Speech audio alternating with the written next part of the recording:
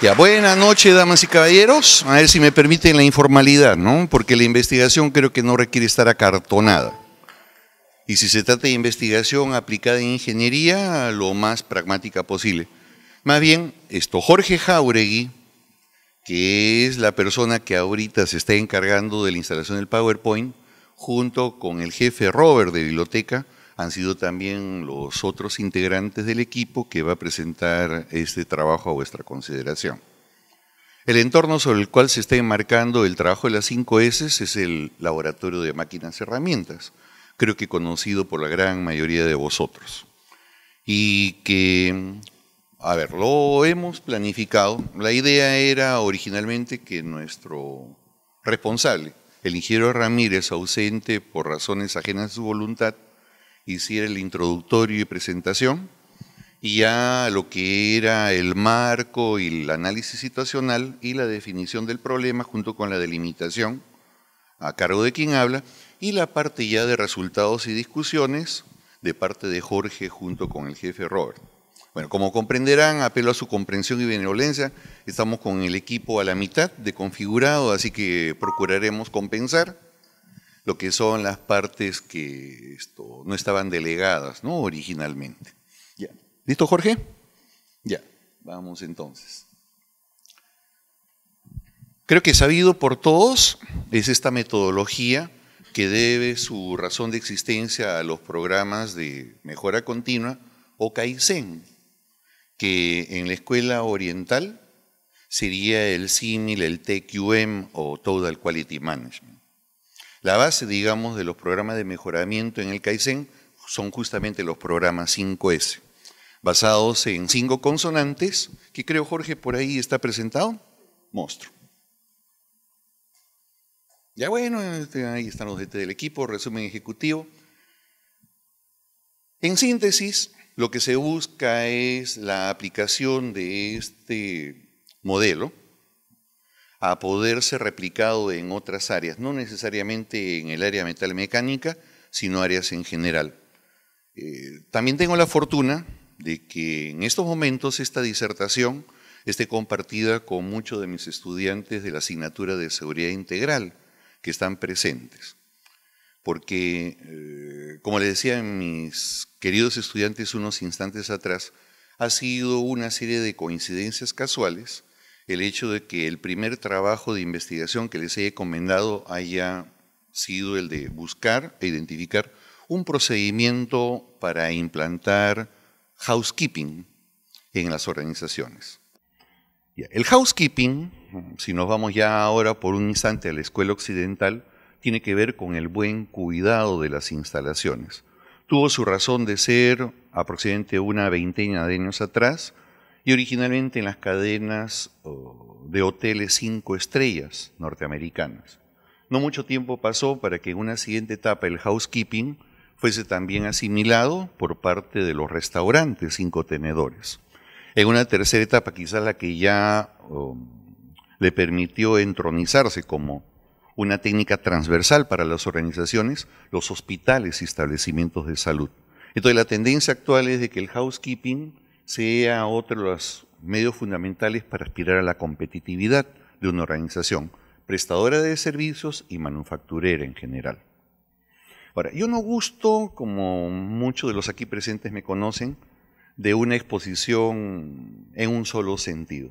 Entonces me agradaría si hubiesen algunas inquietudes o comentarios para poder hacer un poquito más interactiva este, esta disertación. ¿No? Bueno, lo voy a aburrir, se van a dormir, van a tener hambre y eso es lo que quisiera evitar. ¿Procedimos, Jorgito? Ya. El objetivo, contribuir a la presentación de una imagen corporativa o institucional adecuada. Suena más marquetero que productivo. No, no es así. Creo que a todos nos consta que cuando ingresamos a un recinto en donde todo está limpio, ordenado, se respira la calidad y cuando se respira la calidad, esa calidad es contagiosa. Eso que llamamos filosofía de la mejora continua y la búsqueda incesante de la excelencia como un destino final sin fin, forma parte de esta columna vertebral que es un programa 5S. Ahora, de repente, para compartir un poquito la técnica. Creo que ya mis queridos estudiantes de seguridad la conocen, pero con su venia vamos a reiterar el tallercito al paso. Cinco palabras en japonés. Seiri, Seito, Seiso, Seiketsu y Shitsuki. Las tres primeras tienen que ver con la parte hard, Seiri, Seiton, Seiso. O sea, eh, limpio, organizo y clasifico. Todo eso es relativamente fácil. Las carpetas, este, las personas, la base de datos en una computadora, la depuro, la organizo, la limpio, pero la parte soft, lo que es el preservar y mantener la disciplina del buen hábito del orden, ese es otro tema que tiene mucho que ver con ciertas habilidades blandas. Pero, este, ya me olvidé. ¿Esas palabras de dónde provenían? Del Japón. Yo no soy japonés. Yo me apellido Shigio y Ortiz a toda honra. Tengo de Inga y de Mandinga. Entonces, no pretendo ser japonés, pero una encuesta. ¿Alguien de los aquí presentes se ha encontrado con un japo en la cancha? ¿Sí? Perfecto, Moisés. ¿Cómo son los japos y los ingenieros japoneses en la cancha? Hablan fuerte. Voy a ser crudo con respecto de la dama presente. Son jodidos. Cuando de calidad se trata, no perdonan. Todo, todo lo que tenga que ver con la calidad, no perdonan. Hasta la pronunciación. Entonces vamos a una clase rapidita de japonés. Este, repeat after me. No es seiri, es seiri. Seido. Seido. Seikedu. Y shiduke. Another time. Seiri. Seido. Seido. Ya me olvidé. Seikedu. Y shiduke. ¿Por qué? Les aseguro que varios de los aquí presentes, sobre todo las de la nueva generación, los millennials, se van a encontrar con su destino profesional y laboral con Japo. Y el Japo en todo, o sea, la calidad en el más amplio sentido de la palabra. ¿En qué estábamos? Ya me olvidé. Allá, lo que era la metodología de estas cinco S. Entonces vamos avanzando, Jorgito. Los objetivos específicos no, obviamente se desprenden junto con las metas del objetivo general que buscar un ambiente donde se respire la calidad, donde la calidad sea el factor motivador a través de la buena presentación. La contribución el impacto, creo que aquí sí vale la pena incidir en algunos propósitos, el cambio de cultura y comportamiento organizacional, que es esa parte soft a la cual nos referíamos en las dos últimas de las S. No sé si hubiera algún comentario. Bueno aprovechamos el pánico, Jorge. Seguimos avanzando. Ya, la hipótesis inicial, bueno, a ver si le pega una lectura y si hubiera alguna pregunta, porque es la parte aburrida, honestamente.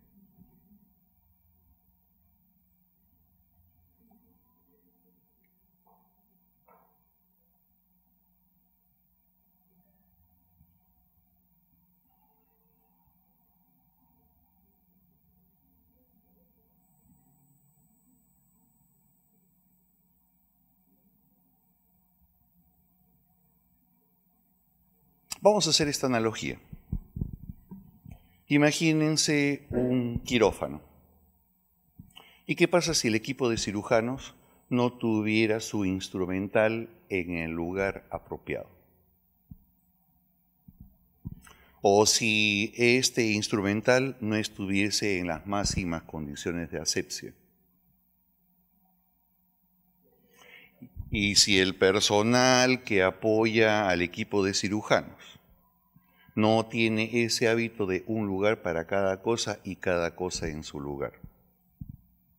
Donde la vida humana de un paciente se podría perder en cuestión de segundos.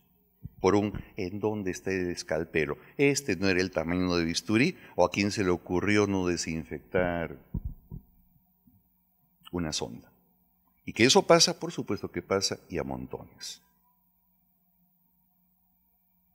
No sé si ya esto nos hemos dado una idea de la hipótesis y que creo la evidencia, apelando al empirismo en primera instancia, ya se estaría sustentando. ¿Pasamos, Jorge? La metodología y técnicas de investigación, un trabajo de gabinete primero para la revisión de la literatura e investigaciones referenciales. Para ello, como ustedes comprenderán, papers hay un montón al respecto. Hay muchísima literatura. Porque a pesar de que se trata de una técnica basada en el sentido común, los desafíos inherentes al factor humano en lo que a cultura y comportamiento organizacional se refieren, en estos tiempos con la emergencia de las neurociencias, implican ya una revisión de enfoques paradigmáticos en la parte de la gestión del talento humano basado en competencias intangibles. No sé si otro aspecto dentro de lo que fue la planificación. Ah, la identificación y detección de anomalías.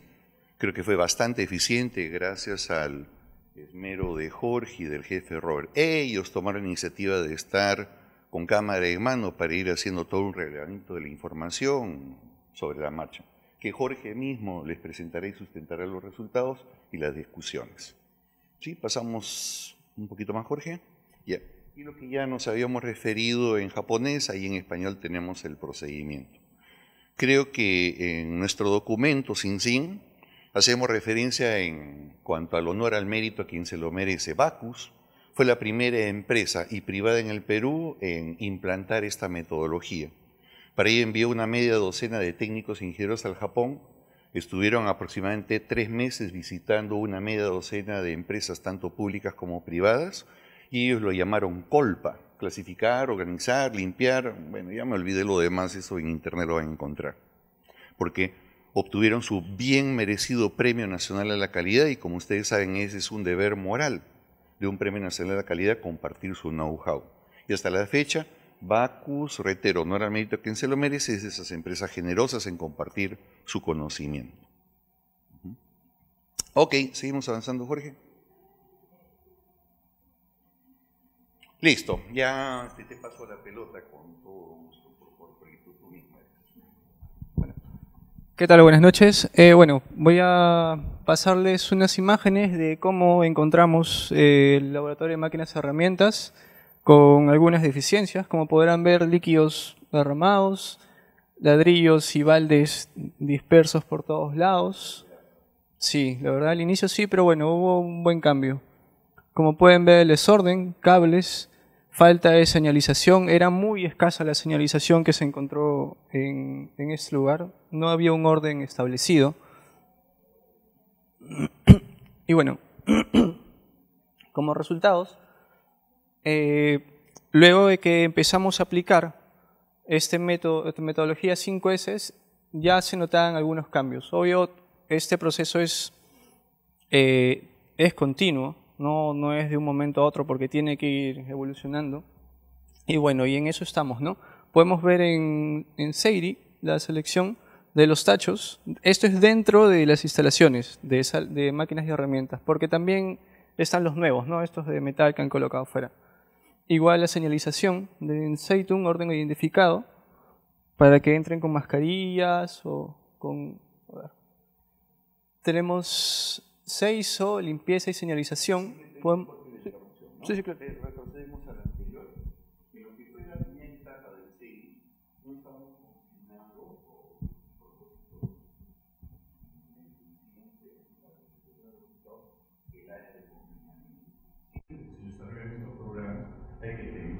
anticipadamente y planificar un área que tiene esos objetos redundantes, inservibles o innecesarios. Y un cierto plazo dar para que puedan estar a disposición de otras dependencias, creo que es un viejo adagio que siempre hemos para un dispositivo. Es decir, uno nunca sabe cuando aquellos objetos son retirados a los finalistas, otras áreas puedan hacer uso o requerimiento de lo mismo para aprovechar hasta el último momento los recursos.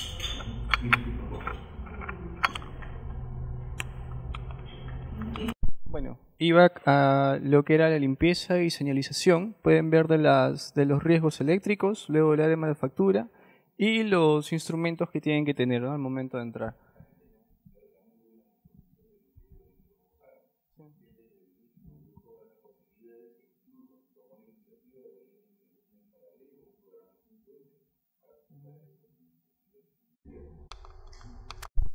Bueno, y luego como pueden ver, se, ya se manifiesta la limpieza que hay en el local.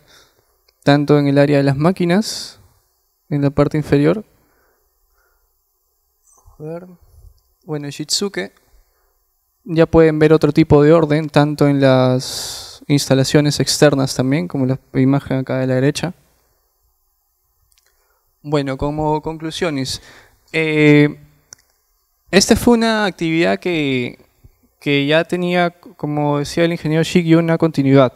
Cuando fuimos a hablar con el ingeniero Rosales, no, bueno, fue el ingeniero Shigio, el jefe de biblioteca y mi persona, y, nos dijo de que tenían ya pensado implementar este, esta metodología, ya que previamente la facultad eh, había estado con la certificación del ISO 9001. Y bueno, habían ciertas normas que tenían que, complementar. Y tenían que mejorarlo porque sabían que pronto se venía lo de la certificación 14.000, ISO 14001 y las OSAS 18001, tanto de... Lo bueno de, de, esta metodología 5S es de que esta herramienta de la cultura japonesa nos enseña eh, virtudes y valores muy importantes como el respeto, la disciplina, el orden, eh, la pulcritud. Y bueno, esto tiene que ser o entenderse que no puedes hacerlo solo, sino que tiene que ser un compromiso de todos para que de verdad funcione y para que mejore el nivel de la organización o de la facultad, de la entidad en la que estés, en realidad. Eh, justo en ese punto de respeto, quiero que vean las tres últimas, porque dice comprender la importancia del respeto hacia los demás. Un punto muy importante. Mejorar el respeto de su propio ser y de los demás. Y el último, en caso de que no se respeten los estándares, es necesario ir a la raíz del problema, el por qué esa falta de respeto o interés. O sea, cuando hay algún, algún tipo de problema en esta área, o sea, averiguar el por qué, no quedarse con las ganas de que, bueno, en algún momento se, se solucionará y punto, ¿no? O sea, buscar la raíz del problema y solucionarlo, porque todas, eh, en el caso de la facultad, nos tiene ciertas normas que hay que cumplirlas, ¿no? Y bueno, aplicarlo. Luego. Bueno, como recomendaciones finales, eh, es importante incentivar la motivación en el personal para que estos promuevan el desarrollo del programa. Si tú a tu personal lo tienes o le implantas una motivación, va a continuar con este proceso y, ese, y esto va a contagiar a los demás integrantes que estén o no estén trabajando en esto. Luego, asegurar la continuidad del programa a través de políticas, directivas, normas, reglamentos. En realidad nosotros eh, queríamos plantear un pequeño reglamento con el ingeniero Rafo como director de la Escuela de Seguridad, mm, ya sea él o otro nuevo director. Eh, sería yo creo que bueno implantar un pequeño reglamento ¿no? para esta área. Luego, difundir este programa a otros estamentos de la universidad.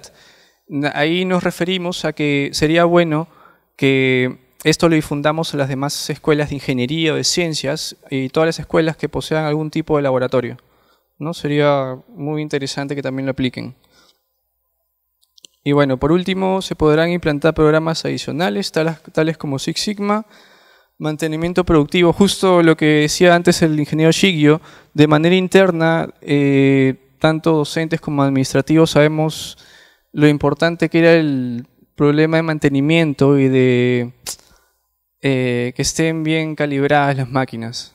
Porque eh, al momento de lograr el sistema de gestión integrado que tiene la facultad, es ser un, como que un punto débil y bueno, ahora felizmente ya se pudo solucionar, ¿no? Y bueno, como dice ahí, eh, un sistema de gestión de calidad integrado, el cual felizmente la facultad ya lo posee, ¿no? Y bueno, eso sería todo. Muchas